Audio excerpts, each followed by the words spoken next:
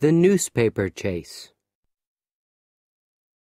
The time is one o'clock in the morning. The place is the Wrightsville Town Art Gallery. A window opens and a man comes in. His name is Harry Black, and he is a thief. It is dark in the art gallery, but Harry has a light. He looks across the room at a painting. There it is, he says. Harry moves quickly across the room. He stands and looks at the painting. A million dollars for this, he thinks. I don't understand it. But he takes a knife from his coat. Then he takes the painting very, very slowly from its frame. Harry goes back across the room to the window, but he walks into a table. There is a beautiful blue glass vase on the table. It falls on the floor and breaks into a hundred pieces. Harry smiles. Is that a million dollar vase? he thinks. It isn't now. He runs across the pieces of glass to the window. Harry has a room in Mrs. Allen's rooming house. He goes quietly up to his room and closes the door. Mrs. Allen and her daughter, Janie, are sleeping. They don't hear him. In his room, Harry takes the painting from his bag. He puts it in a newspaper. Then he puts the newspaper under his bed. In the morning, Janie Allen is in the kitchen. She's putting old bottles into a box. Recycling is important, Janie thinks. On the TV, a reporter is at the Wrightsville Art Gallery. He is talking about the painting. It's a million dollar painting, he is saying. Here's a photo of it. Now the reporter is talking about the blue glass vase. It's in a hundred pieces now, he says. Janie looks at the photo of the vase. Then she asks her mother, Do you have any old bottles? No, Mrs. Allen says. That's all, Janie. But the newspaper recycling truck is coming today.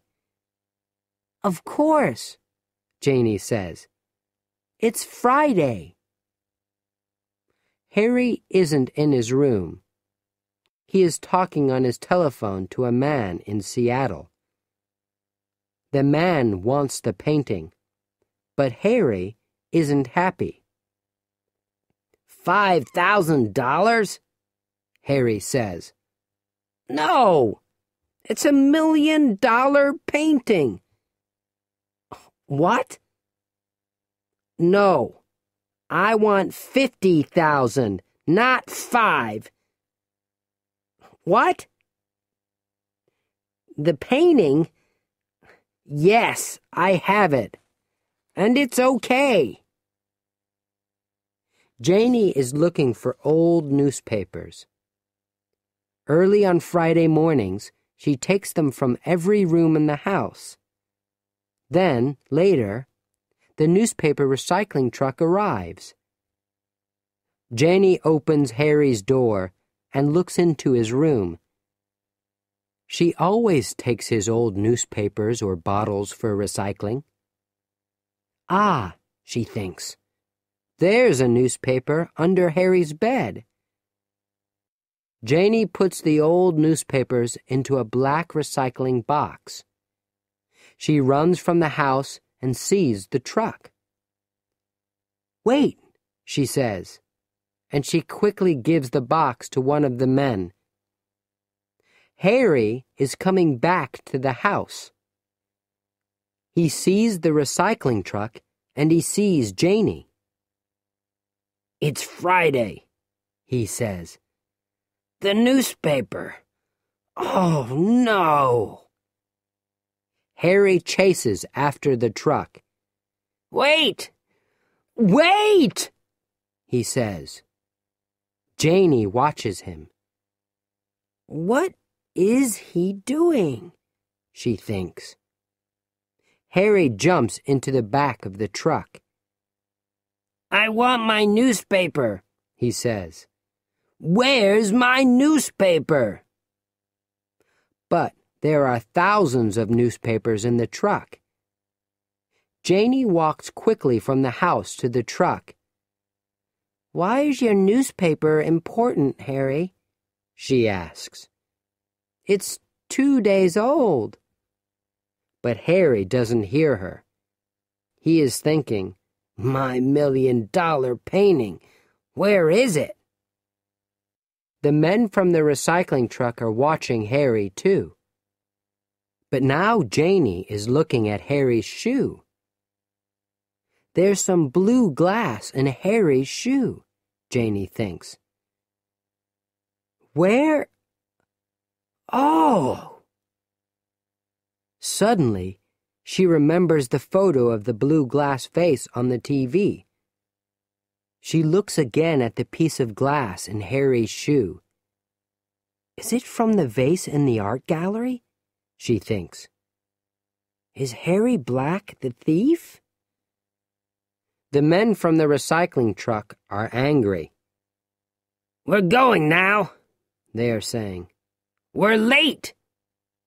But I want my newspaper, Harry says. In the house, Janie is talking to the police on the telephone. Maybe I'm wrong, she is saying, but there's blue glass in his shoe.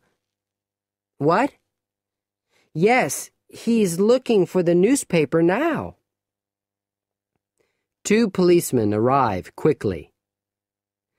Let's look at your shoe, they say to Harry. Harry doesn't understand. What's wrong? he asks.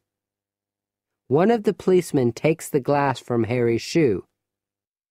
This is a very expensive piece of glass, he says, from a very expensive vase. Remember? Suddenly, Harry understands. Oh no! he says. Police cars and policemen arrive. The men look in the truck for the million dollar painting. Later, they find the right newspaper and they find the painting. Good work, Janie, one of the policemen says. And there's a reward.